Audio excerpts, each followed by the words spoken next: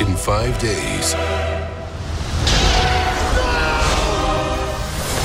This will be the final word in the story of Skywalker. Star Wars The Rise of Skywalker. Rated PG 13.